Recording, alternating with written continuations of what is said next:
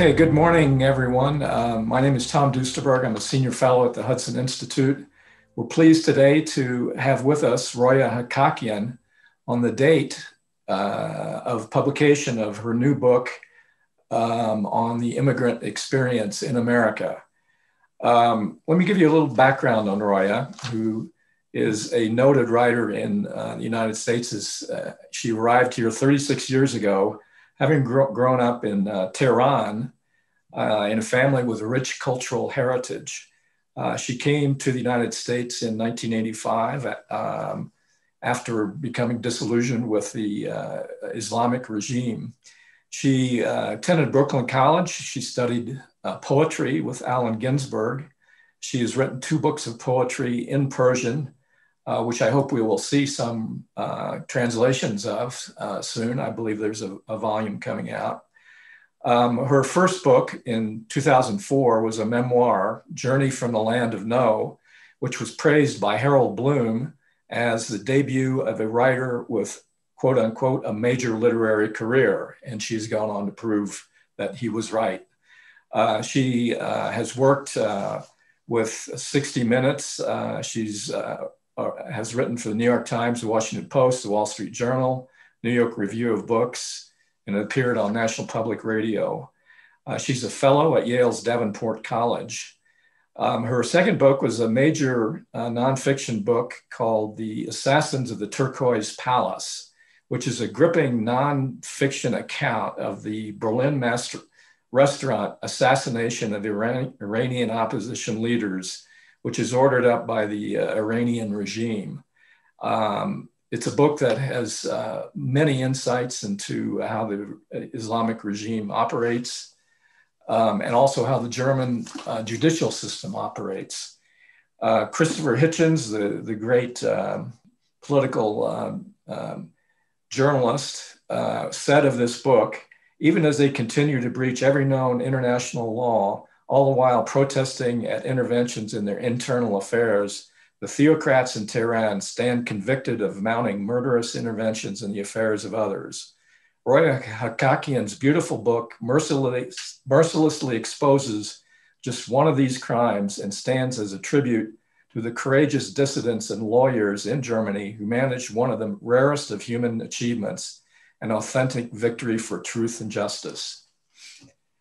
Um, this Roya's new book, which I'm going to flash in front of you, appearing today, Beginner's Guide to America for the Immigrant and the Curious. This new book, uh, which is published today, combines practical advice to modern immigrants with important observations on the US culture and current affairs, as well as uh, observations on the Islamic regime, which um, Roya left disillusioned 36 years ago um, Yale um, uh, uh, Yale Law School professor Amy Chua noted that this book is quote just what America needs at this historical moment. So Roya, welcome. We look forward to a lively conversation. Why don't you start by telling us a little bit about why you wrote this book?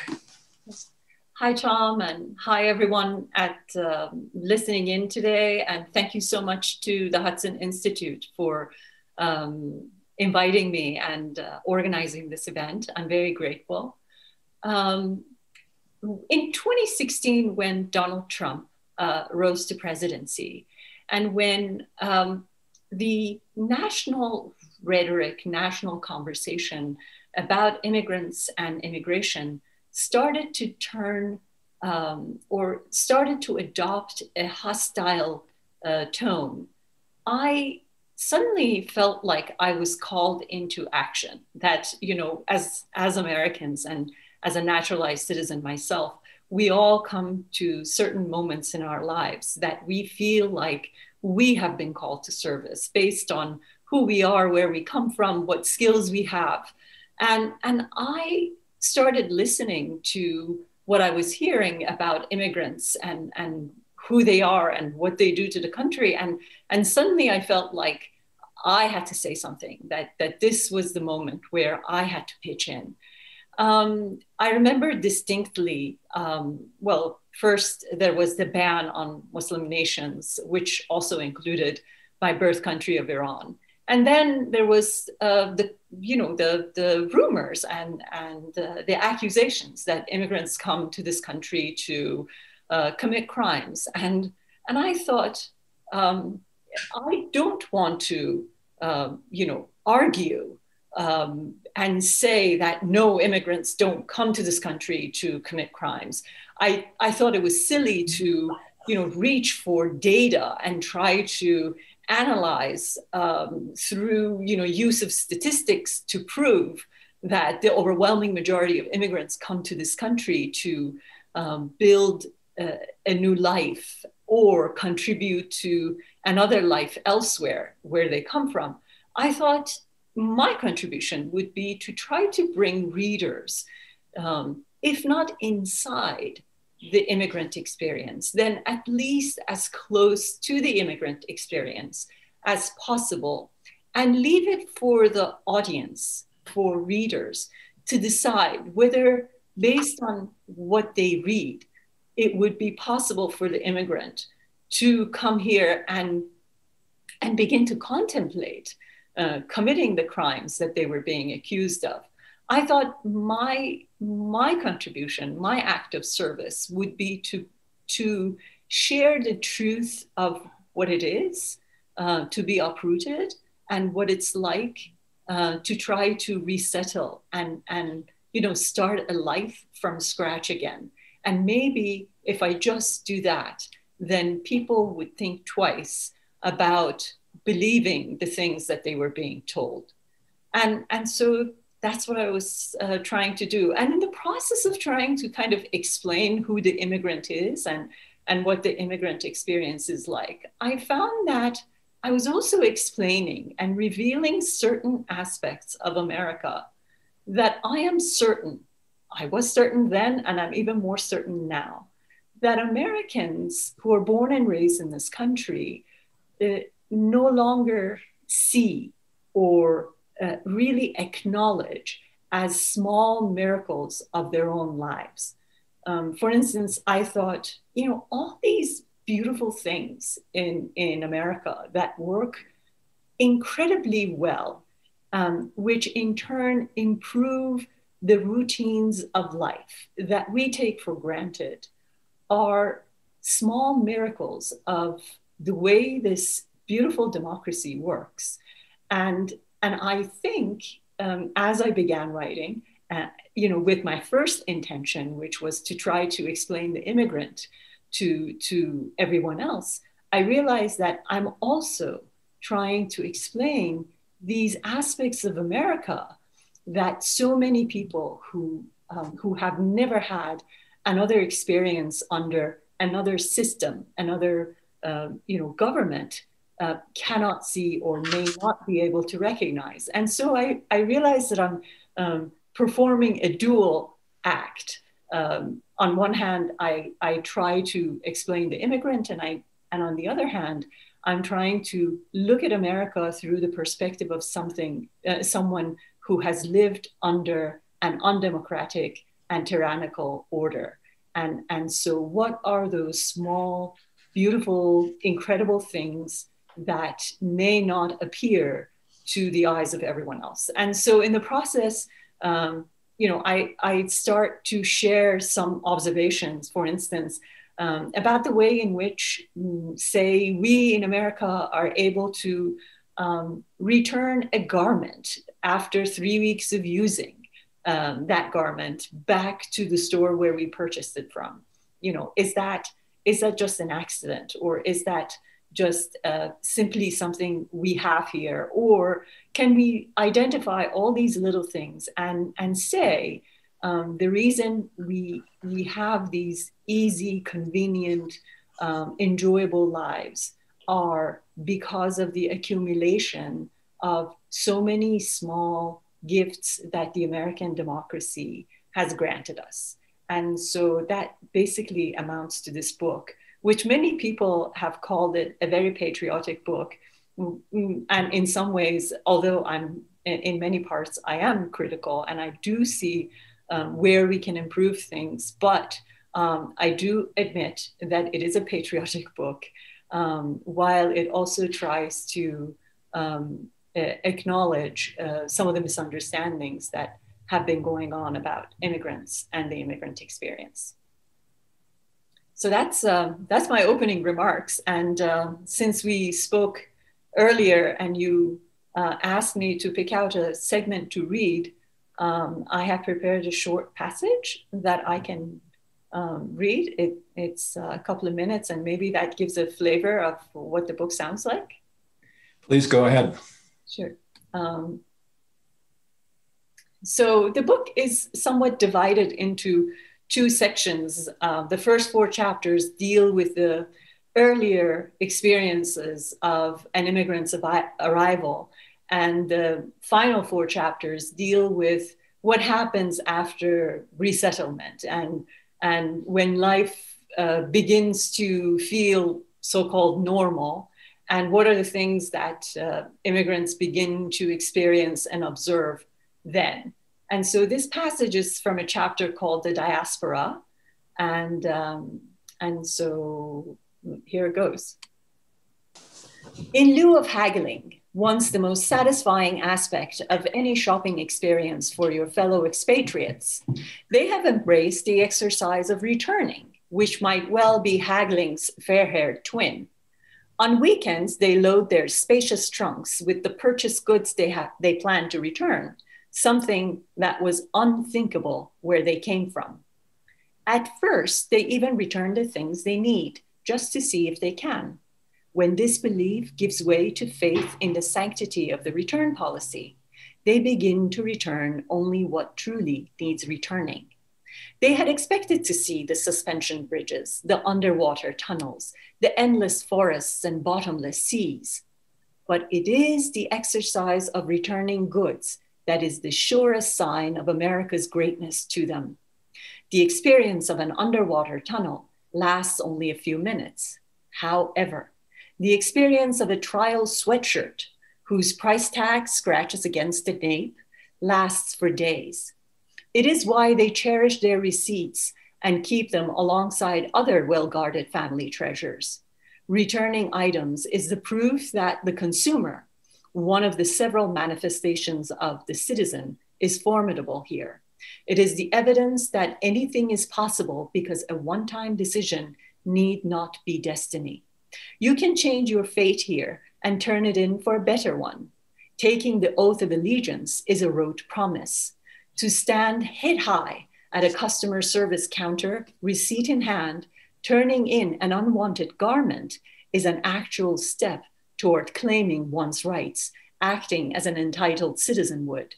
Even after all these years, each time a reluctant shopkeeper takes an item back, you stagger out in awe, praising God and his most unsung messenger, George Washington. This is one of the many small joys of living in America that only you, privileged with a keen knowledge of despotism, deeply cherish. That will give you a flavor of the beautiful writing that uh, Roya deploys throughout this book and some of the wry observations that she makes about uh, American culture. We frequently need to have uh, outside perspective, I think, to better understand uh, American culture, American politics, even. Um, Roya, uh, this book was called, I believe, by the Wall Street Journal reviewer, a love story uh, of American democracy, or something to that effect. Um, but she doesn't sugarcoat, uh, as she mentioned in her opening remarks, uh, the history of immigration in America, which is frequently not. Um, a pretty picture. Nonetheless, she has um, sage advice, I think, to immigrants. In fact, she closes her book um, after having said that uh, perhaps um, immigrants understand the American founding documents even better than Americans. But she closes her books, her book with this remark, and this is uh, advice a- after receiving the certificate of citizenship. Do not mistake the certificate for a deed. You can only guard her grandeur, not claim it. Citizenship does not give you the ownership of this land, it only gives you the honor of her stewardship, the pride of upholding her principles and of keeping her fire burning to warm all the generations to come. So, can immigrants, Roya, um, help to uh, calm the, the fires of modern politics in America in any way? And what would what specific advice would you give them? Um, you know, I think this is probably one of the things that uh, one of the most important lessons I took away from January 6th, 2021. Um, I think that you know, prior to this, I thought we as immigrants come here to rebuild our lives. We as immigrants come here to, um, you know, work the farms and be doctors in hospitals and take care of the elderly and, you know, all the things that we all uh, uh, have always seen and assumed about immigrants. But on January 6th, um, as I watched people uh, climb the walls of the Capitol and, and suddenly I, I had a flashback to uh, my own childhood in Tehran when I was watching the students of the Imam line uh, climb the, the walls of the US Embassy in Tehran, and, and the two images began to overlap. Then I saw that um, it, you know these Americans are making similar mistakes, which can only, in my view, be attributed to the fact that they don't realize what an, an incredible gift this, this structure ha- is offering, not only to Americans, but also to the rest of the world. And, and you know, especially to activists around the world who, who are hoping, who are imprisoned dreaming of building a similar structure in their own countries. And I thought that here's what we ought to do. We ought to pass on the small lessons of what this democracy is giving us. Because we often think of democracy as you know as a four year affair you know we go you know we elect somebody and we have electoral rights or we have freedom of speech and that's democracy well yeah that that is democracy if you're looking at it through a very narrow political perspective but democracy also gives us many small privileges that, that make this life what it is. Democracy makes it possible for all of us as, say, you know, drivers of motor vehicles to behave sanely when we're on roads. Because if you have been to the Middle East, especially in Iran, uh, to Iran, where you know I I used to lose my mind whenever we you know, my father sat behind the wheel of a car and we, uh, you know, decided to take off. It, the experience of driving can be terrifying because, because even driving in a place where um, there is no democracy becomes an act of a protest. And so, if you don't believe in the laws of a country, you do not abide by any laws, including traffic laws, right?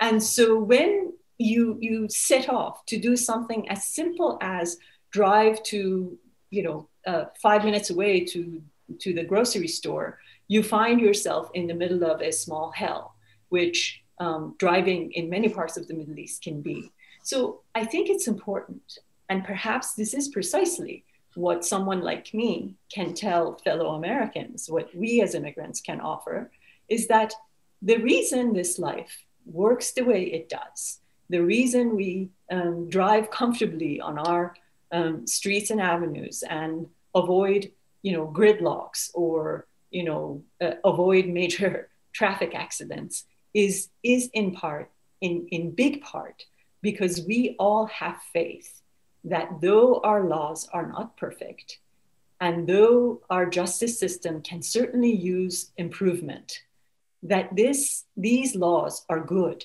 and they improve our life. And, and that small manifestation is one sign of democracy.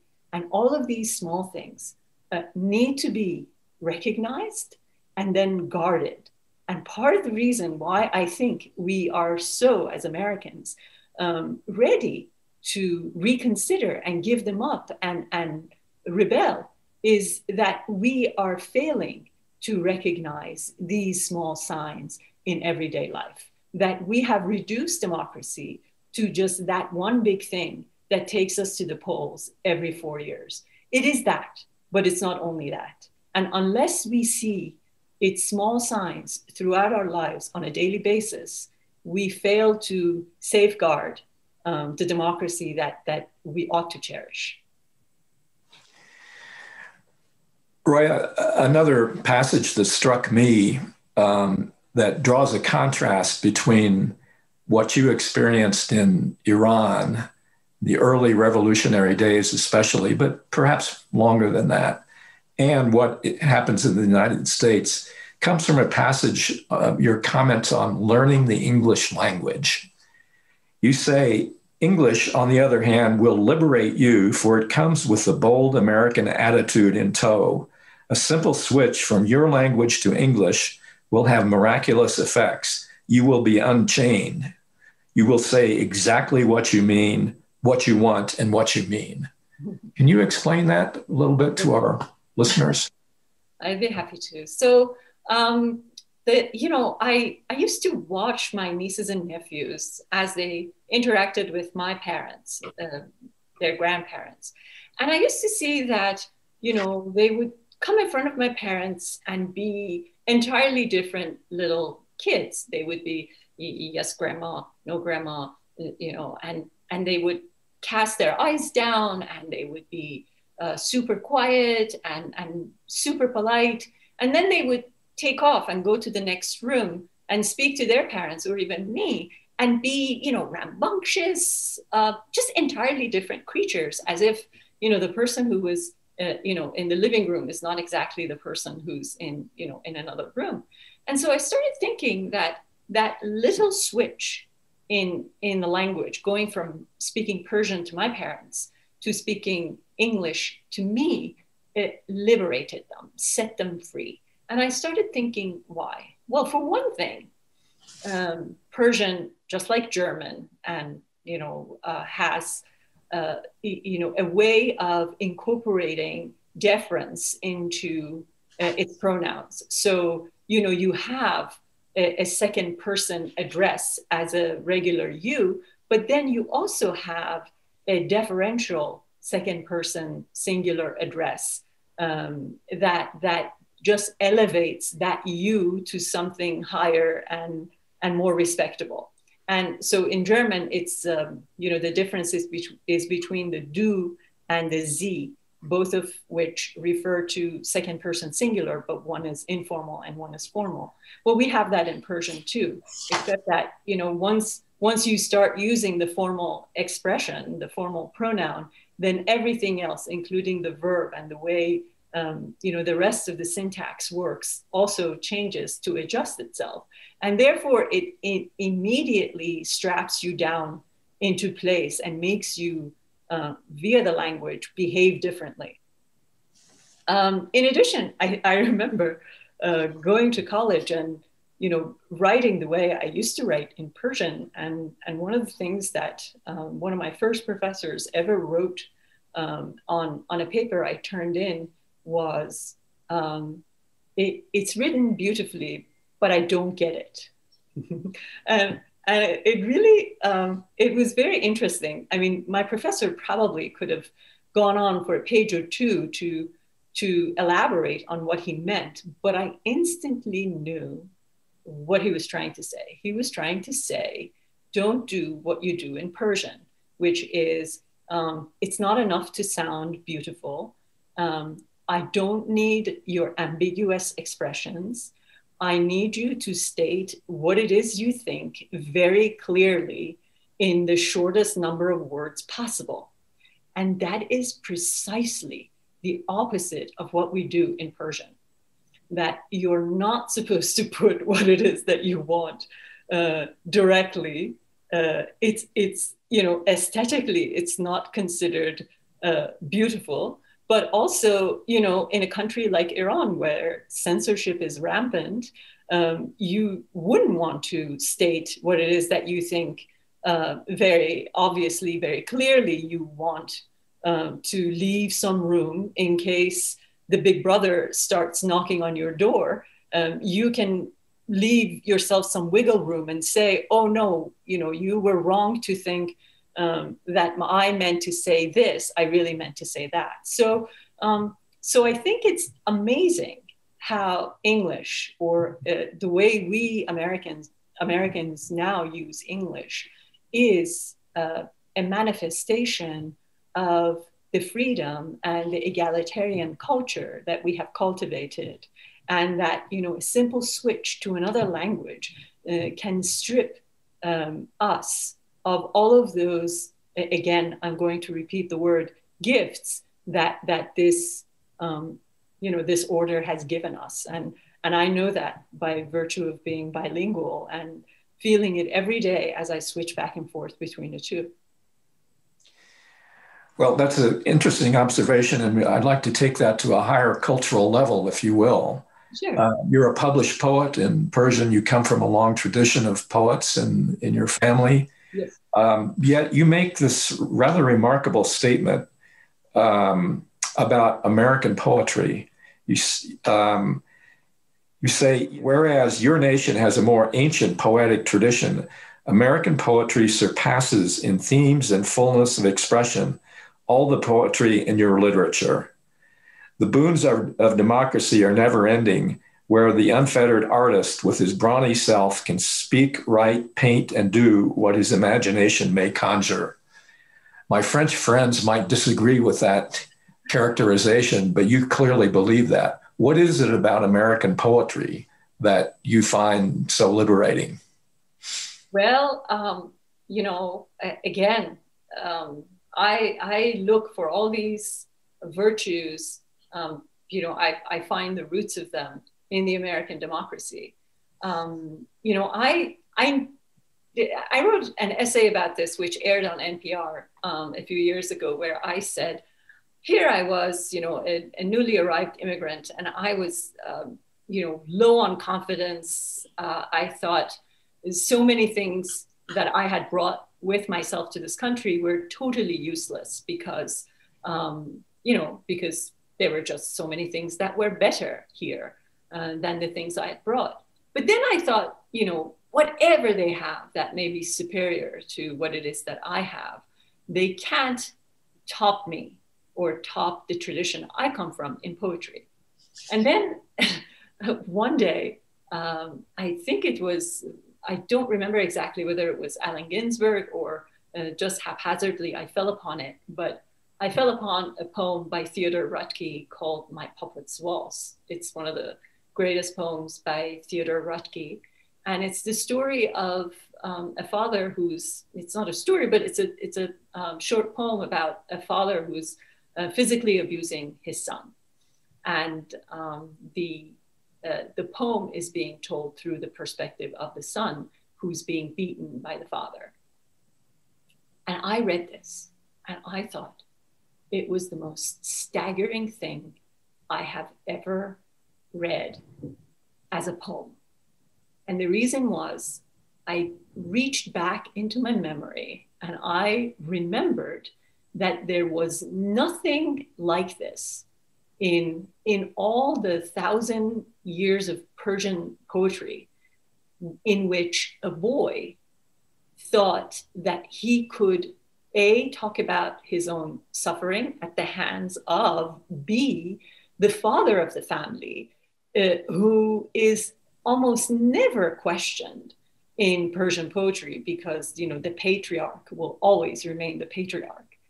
And I thought, my God, you know, we have had, you know, this this 2,000 year tradition of poetry, and yet there are themes that we have not allowed to enter this tradition because there are ways in which we have not allowed the hierarchy of our of our society to ever be broken. And so my papa's waltz was a was a perfect example. So i think the reason our you know american poets reach for anything anything is because they are free to do so. Um, is because you know the the social hierarchy is such that the self is above and beyond everything else and everyone else, as opposed to you know the the leader or the father or you know the patriarch in the family, and and therefore that opens up the space for the imagination to to do at the uh, to do as the imagination wishes. And i think the variety uh, uh, of the themes that are expressed in poetry and literature um, make for a perfect example of that right one more um, uh, observation that you make about the united states uh, from fresh eyes struck me as fairly interesting and important um, you note that uh, Americans um, often have cemeteries in the middle of their towns and that they're not afraid to uh, enter those cemeteries. Um, you write Americans do not fear their deceased nor try to hide or avoid them. Several, several of their earliest cemeteries were, in fact, meant to be used as parks by visitors. Um, then you say the nation has no trouble passing by their dead as they go about the business of life. The departed remain among them, their resting places, a natural part of cityscapes. It reminded me of the famous uh, quote by William Faulkner that the rest, the past is never dead. In fact, it's not even past. What were you trying to say by making this observation about America? Well, um, I was trying to say that um, we should all remember um, how wedded we are to the project of life and living, and and that it isn't the way things are in in so many other countries, um, and certainly not in Iran, where I come from. Um, you know, first of all, I I had never seen a cemetery in my life until I left Iran.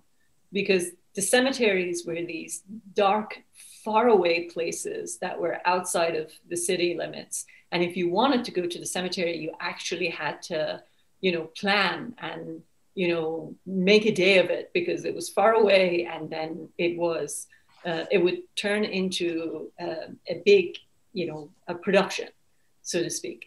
Um, I remember um, my mother and I were lost. In fact, we were in Geneva one day, and I thought, well, you know, we're lost in Geneva. We might as well, um, you know, turn it into something positive. So um, I, I, didn't. I, we got off the the uh, the bus we were on, and uh, I saw beautiful trees and you know flowers, and it was a very green space. And I said, "Oh, look, there's a beautiful park." um, let's go, you know, we picnic there. And we had sandwiches with us. And we went inside and and as we were trying to get comfortable and sit on benches, um, my mother spotted a couple of, you know, headstones. And she pointed to me and, you know, I looked at them and we suddenly recognized we were in a cemetery and we were gasping, you know, because uh, a cemetery isn't supposed to be a place that you just haphazardly walk into and you know decide to eat your sandwiches in there. A cemetery is a place to be somber in and you know you it's not supposed to be around. You're supposed to go there with a different uh, perspective to you know grieve and all that. And suddenly you know we were in the middle of the city. We got off the bus we had sandwiches in our bags and you know it was a beautiful space and there we were you know um, it, on top of a couple of graves. And, and I realized later when I came to the US, it was the same way that, that life always goes on, that, you know, the cemeteries don't stop you because the dead don't stop you in America because we always know that even as tragedy happens, our job is to go on. And, and I think you know, the, the, the moment in, in my years in America that completely drove that notion home for me was 9 11. I was in New York City. The, the towers came down. It, it would have shut down any city in any other country, certainly in places where I have been. And it didn't shut down New York. I mean, it shut New York down for a day or two, but within a week, life had resumed. And that's that's an incredible quality that that America has. That you know, it's not only a question of resilience. You know, a lot of other uh, nations are resilient too, but there is an attachment to the idea of life, and there is a commitment to living and living fully that I think um, you know uh, is is fundamentally American. And the fact that you know we have our cemeteries here within city limits. We pass by them as we go to the grocery store, or we go to the pharmacy, and we understand that you know it's you know people pass, but life goes on, and um, and the dead don't stop us. And I think that's um, another small uh, miracle of of why our lives are are pleasant and go on as smoothly as they do here most of the times. Okay, let's uh, switch gears just a little bit. Um, you have, uh, throughout your career, um, um, not shied away from uh, commenting on politics, um, both in the Iranian context um, and in the American context. Um, you've called it like you see it. You put yourself perhaps at danger by uh, doing things like exposing the uh, murderous act in Berlin, which was the subject of your second book. Um, but your sensibility as a cultural commentator is also uh, feeds into that in certain ways. Um, you've noted that the importance of narrative, or what we now call narrative, how people in one country talk about another country as being important to both the self image and perhaps the propaganda efforts of other countries. Could you uh, tell us a little bit about your thinking uh, about how America, American politicians talk about Iran uh, shapes politics in Iran and vice versa? How the Ira- Iranian narrative, which we can still see on Twitter, for instance, how that uh, is intended to shape American politics. Sure. Um, you know, it's it's um, it, it's not it's not something I, you know, sat one day to you know study the the Iranian narrative and how um, the American uh, it feeds the American narrative, political narrative, and and all that. It it was something that. Uh, I, I was observing um, as early as you know 1979 when I was a little girl. I realized that it, you know the the story, the the grand story of Iran suddenly shifted in 1979, right? So you know here I was a girl in in school, and the opening pages of every textbook I had in school um, were the images of uh, the Shah, the king, his wife, and their son. And all of a sudden, you know, there, we went to school one day and and we were told to rip those pages out. And here I was thinking, oh my God, you know, for all these years, I've been I've been opening these pages as if they're sacred pages. Um, I would stare into the queen's smile and and feel good, you know, because I believed in them. And then, you know, all of a sudden you go to school one day and they say, rip them up and and so i i had to begin to think who decides who's good and who's bad and who decides all of a sudden that all these people whom we thought were you know the fathers of the nation and the people to whom the nation owed everything it had were suddenly evil. And so it, it was a sensitivity that i developed because um, I, I had seen um, you know, two two opposing systems trying to um, sell two opposing narratives within the span of you know a few months to a year. And so I think what makes the case of Iran really interesting is, um, especially vis-a-vis America, is that in, in the first 10 years of the Iranian Revolution, right after 1979, um, the, uh, you know, the, the idea of hostility with America was a, a major cornerstone of the regime's existence, that the regime defined itself around this hostility. And then, you know, um, it, it also paid off because, um, you know, it, the, the religious order in Iran, the religious leadership, um, needed to unify the nation. And so not, not all of the nation, especially not the middle class, cosmopolitan Iranians, um, were as religious as you know the people who had taken the power in Iran, and therefore they needed to bring them along too. So anti-Americanism became a very important tool to unify the nation because a lot of the uh, you know middle class uh, you know urbanized uh, idealistic youth who were in universities. They were not religious but you know they assumed themselves socialists or idealists, they too uh, objected to US imperialism. So uh, the anti Americanism that the Iranian regime used was a perfect tool by which to, to unify the nation, to bring along you know, the non religious around this, the singular idea, the fundamental idea that even though you're not religious, we all need to create a unified front against America. And that worked um, for a very long time. I think what has changed now is that the regime is still trying to use that old narrative. But the people, after 43 years, no longer buy the demonization of America because Iran has not had relations with the US for more than 40 years.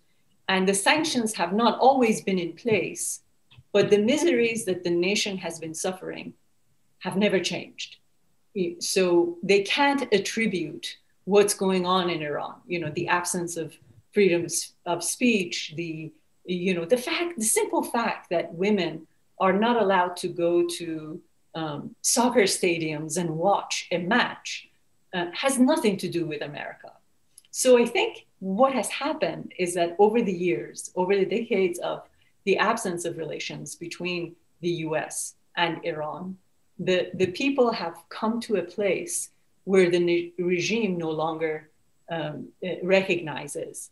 Uh, the regime continues to want to sell anti Americanism as, as the tool by which they originally um, sold the revolution to everyone, but the people aren't buying it anymore which is why at so many demonstrations in the past year or two in Iran, you hear people say, Our enemy is not outside, our enemy is right here in this country, which I think is, you know, uh, is the most revolutionary, the most groundbreaking idea that has come out of Iran in recent years by way of, you know, political uh, expression. Um, and, and I and the last point I want to make is that I think that the sad piece of this whole thing is that Iranians, the nation, has come to a place where they do not see America as the evil that the regime told them it was 43 years ago. But Americans are still back there buying what the regime sold to the Iranian people 43 years ago to this day still.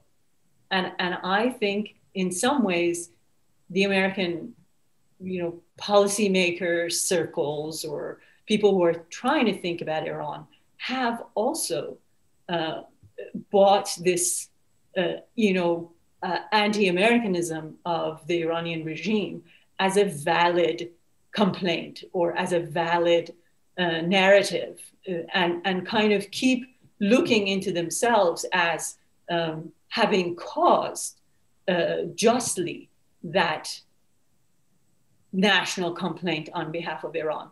And whereas you know the Iranian nation has moved on from this, um, I feel that the two governments have not. And so there is a major discrepancy between the narrative that Iranians have developed over the past several years and the old narrative that seems to um, survive uh, the facts on the ground. If you were to give advice to American uh, political uh, and thought leaders who um, comment on the situation in, in Iran, is there a way that you would suggest that they talk about the dynamic between the two countries that would speak more directly to the Iranian people and to your what you characterize as a changing perception on the ground among uh, wide swaths of the people in Iran to promote that better understanding and promote um, possibly political change in Iran? Well, it's it, it's a speech I give in my sleep, Tom. you know, it's it's something that I uh, you know dream someone important will ask me, so I will have the opportunity to to say uh, what I really uh, believe, which is that um, you know uh, let's let's be done with this silly reformist hardliner uh, you know division making. You know we uh, because it's become sort of as silly as the good cop, bad cop policy that parents use with respect to their children, you know, to to punish them. And I and I think it's as uh, again, it's as silly and as useless as that. Um, you know, the reform movement uh, began in 1997 with the rise of President Khatami to power, and it's now 24 years later, and and the reform movement has failed to do even the simplest, most basic changes that any reform movement could have accomplished elsewhere, right? Like something as simple as allowing women to attend soccer stadiums. I mean, what can be what can be more basic than that? Saudi Arabia is allowing that. Afghan women who were on their burqas, you know, a few years ago are, are allowed in their stadiums. Iranian women aren't. And, and that's, that speaks to the silliness of the notion that there is reform and these people 24 years on are still trying to change anything or can possibly be effective. So I think it's time to be done you know, if there was reform, it's failed. And if there were people who really truly thought they could do something, well, they had 24 years to do it and they haven't gotten it done. So let's be done with that. And the second thing I think is really important is that Iranians have agency.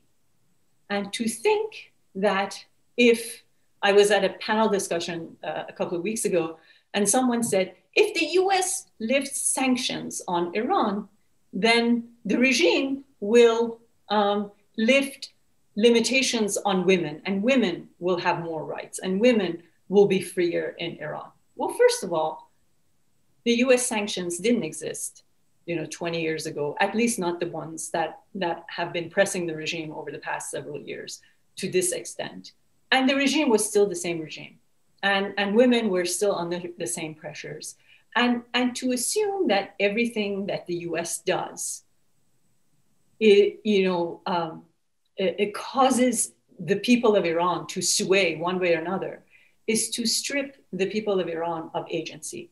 Last year, after uh, the, you know, Qasem Soleimani was uh, killed in a drone strike by, by US forces, the first thing that everybody started to say was that now the people of Iran are going to band together against America. Well, it, you know, I, I, no nation likes to see that another power uh, do deliver justice uh, to, in any way, shape, or form without uh, proper prosecution, without trial, and all that. So I'm sure the people of Iran, even even those who did or didn't have, whoever they were, you know, the, the ones who supported Soleimani and the ones who didn't, would have preferred Soleimani stand trial and, and be tried for whatever crimes he was being punished for. However, at the same time, to think that Iranians have not had a 43 year experience with the regime, and to think that one simple act could make them go this way or that is, is to strip the people of a sense of dignity and agency, and is to say that, you know, they're merely, you know, a, a, a bunch that can, um, you know, simply be uh, herded from one side to the other. It isn't so. And, and it often comes from the fact that we cover uh, Iran in ways that uh, our media chooses to. For instance, you know, six weeks before Soleimani was attacked, um, 1,500 uh, protesters in Iran, in, in some of the largest protest movements ever since 1979, had been killed on the streets. 7,000 people had been rounded up and arrested. So this is the very nation that six weeks before the, the attack on Soleimani had seen these protests be quashed very violently and, and hardly anyone covered it. And so if we choose to cover one story and, and give that prominence, we can't at the same time think that because we have chosen to recognize this as the big news, that it is the big news for Iran as well. And, and because there is so much else that we're not covering. And, and I think that's um, the second point that I want to leave here, which is that um, the, the coverage uh, doesn't tell the full story of what's happening in Iran. Well, in speaking of agency of the, of the people in Iran, um, I, am not an expert on Iranian history, but the imposition of Islamic ideology in a very radical form is not part of parcel of the Iranian tradition, as far as I know. Um, has the um, does the culture of the past, I mean, both high culture and popular culture of the past, continue to be viable in Iran? And is, is that one factor that may lead to eventually to political change in Iran? Um, it, it's it's very interesting because you know one of the things that um, we're you know the Persian New Year is right around the corner on March 20th. It's the you know it celebrates the arrival of spring, and it was one of the things that the regime, especially Ayatollah Khomeini, the, the founder of the Islamic Republic of Iran, uh, tried to uh, eliminate uh, from the calendar. And it was the one thing that uh, people didn't let go of. And, and the more they try to, um, you know, say, uh, we are first and foremost an Islamic nation, uh, and we are um, we feel our solidarity with all the other Islamic nations, um, people continue to and, and even emphasized uh, the Persian traditions that preceded uh, even the advent of Islam, including the Persian New Year. So I think um, I think it's it's very uh, the the Persian identity has been um, incredibly significant in in um, allowing the people to um, uh, define a sense of resilience for themselves uh, and, and believe that there is something other than what is being imposed on them that defines them as a people. And, and I hope that, as you put it, this can light the way to a different future for Iran. And again, are there ways that um, outsiders, Americans, um, political, cultural leaders can help to uh, promote that sort of um, uh, persistence of, of, of, traditional culture and self identity that uh, has been erased by the Islamic uh, radicals? Yeah, I, I think, um, you know, it, it, Iran has always been ethnically, religiously, uh, culturally a very diverse place, um, including the fact that you know women, for instance, um, were able to put on the hijab or the Islamic uh, uh, dress or not. Um, and there are widespread movement throughout Iran, um, you know, small acts of civil disobedience um, all the time that, that uh, women stage in order to um, protest the, this mandatory uh, dress code on them. Um, let's support these women. You know, let's let's make sure in whatever conversation that we have, uh, government to government or negotiations, that we make sure that these women who so bravely are going out onto the streets and taking their mandatory dress code off um, are acknowledged as as uh, authentic um, Iranian women who wish to do simply what people three generations before them, two generations before before them, were able to do. Um, we we have had this uh, diversity of uh, you know expression even in in the way women dress and and let's acknowledge that as uh, we move forward in in uh, whatever it is that we try to um, uh, rebuild with Iran again.